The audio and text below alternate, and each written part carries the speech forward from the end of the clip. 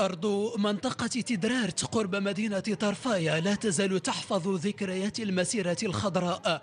فهنا يستعيد هذان الرجلان من أبناء طرفايا تلك الأيام الثلاثة التي قضياها رفقة المشاركين في المسيرة الخضراء لحظة مبيتهم في هذا المكان إلى أن اكتمل جمعهم قبل الانطلاق نحو الطاح.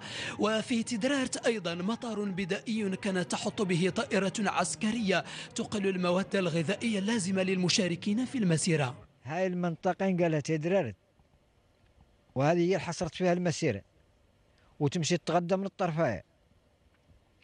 والطياير الحمد لله يجاوهون لهذا المطار وكانوا يجيبوا الخبز ويجيبوا المواد الغذائية كاملة.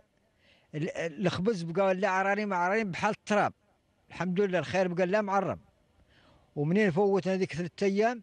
قاي منا ماشيين قايس العيون لهين يدخلوا العيون.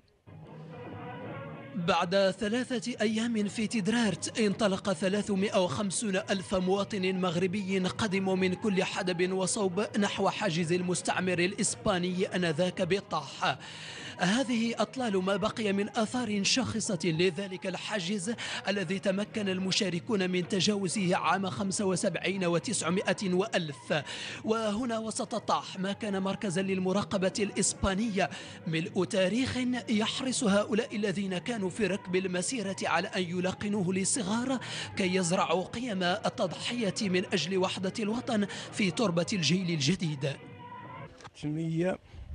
وخمسين ألف كاملة جات ونزادت. اللي من عند قليمي ملاه أكثر وأكثر وشادة من عند في قد السمارة إلى البحر. هذا كامل شاد الله بالكتاب والراية وجايين ملبيين بنفوسهم بشجاعة وحماس. ما هم جايين الحمد لله وجاية كاملة ممونة كاملة الحمد لله. أنا ما كنت عارفة بأن المسيرة الخضراء كانت هون ولكن لا نسمع بها. وحبابنا وجدودنا كانوا شاركوا فيها وراهم دريك جاونا وحكاوا لنا حالاش كانت المسيرة الخضراء وحاش كانوا ساكنين إسبانيول ودريكهم حيدوا إسبانيول.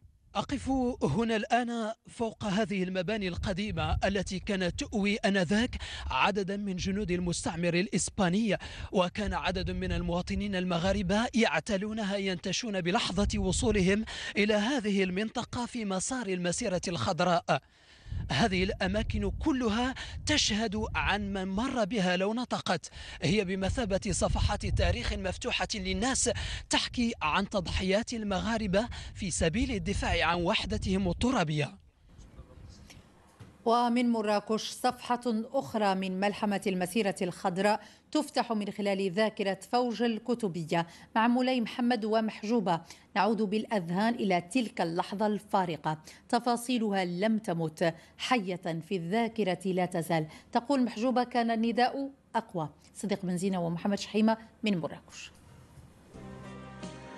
مع إشراقة الشمس السادس من كل شهر نوفمبر تشرق صور ملحمة المسيرة الخضراء في ذاكرة محمد الدروة ولن يجد من يقلب معه صفحات من هذه الملحمة أحسن من صديق له ورفيق مشيا معا على طريق استكمال الوحدة الترابية للوطن. ذكريات كثيرة بما فيها النظام اللي شنا والناس اللي رافقونا من القياديين ومن الناس المسؤولين وداك الشيء كان منظم. احسن تنظيم العبقريه اللي صوبت هذيك المسيرة. ما عمرها ما ما, ما خارقة للعاده كنا مجموعة نديروا عشرة. عشرة هنا وعشرة هنا بقيت الخزانه والغيات الاخرين كنا بقيتوا وحنا تنديروا عشرة عام سيدي وتناكلوا مجموعين. بحال الخوت كنا تما ماشي ما كاين فرق بين هذا وهذا. وهذه صورة أخرى من ملحمة المشاركة النسائية في المسيرة الخضراء. محجوبة كانت ضمن 2500 امرأة من متطوعات فوج الكتبية بمراكش. ما تزال تروي بنفس النفس الحماسي عن دوافع انضمامها إلى مسيرة التحرير. حنايا بحال حنا محل حنا حنا ما تنحسوش بالطمع. ولا تمشينا على الطمع؟ لا. ما مشيناش على الطمع. مشينا على بلادنا. مشينا على وطننا وعلى سيدنا. وعلى التراب تاع المغرب. مشينا على قبله. والمعزة تاع سيدنا. هي علاش مشينا؟ التسع وثلاثون سنة مرت وما تزال المسيرة الخضراء تشع ملحمة عظيمة تؤرخ لمحطة تاريخية من نضال العرش والشعب من أجل التحرير واستكمال الوحدة الترابية للوطن. بين السالك ومولاي محمد ومحجوبة وعبد النبي وجوه وشهادات تحكي عن مسيرة خضراء أرادها الملك الراحل الحسن الثاني أن تكون مسيرة رجل واحد بنظام وانتظام.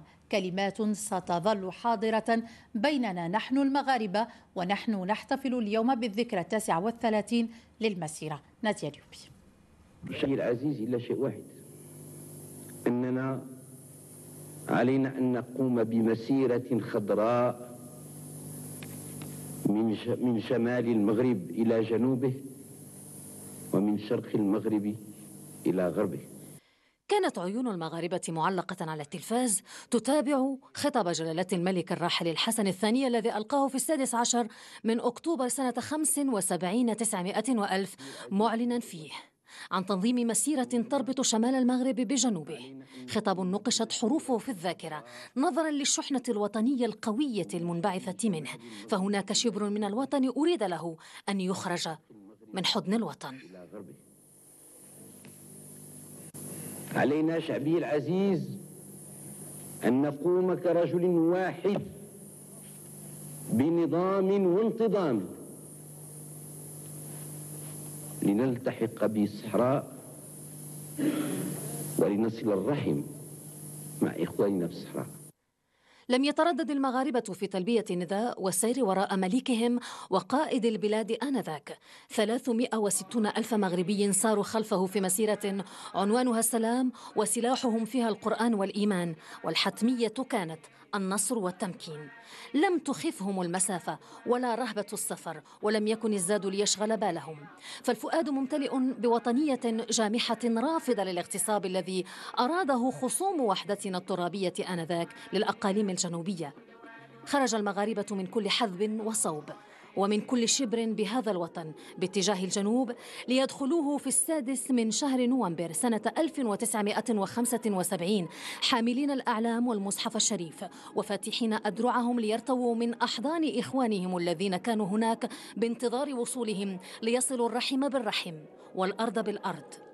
وإلى الآن لم ينسلخ الرحم عن الرحم ولا التراب عن التراب رغم حقد الحاقدين وجبروت خصوم الوحدة الترابية الذي يدوب في رحم الوطنية الحقه هم يسابقون الزمن لترويج أطروحتهم الانفصالية بشتى الطرق لكن الزمن يأبى إلا أن يخيب آمالهم بفضل حكمة وتبصر ملك البلاد محمد السادس وسياسته الحكيمة في تدبير ملف الصحراء. هذه هي الحكاية ما زال الزمن يختزنها بين ثناياه لتروى كل سنة في مثل هذا اليوم لجيل ولآخر ولتبقى راسخة في الأذهان.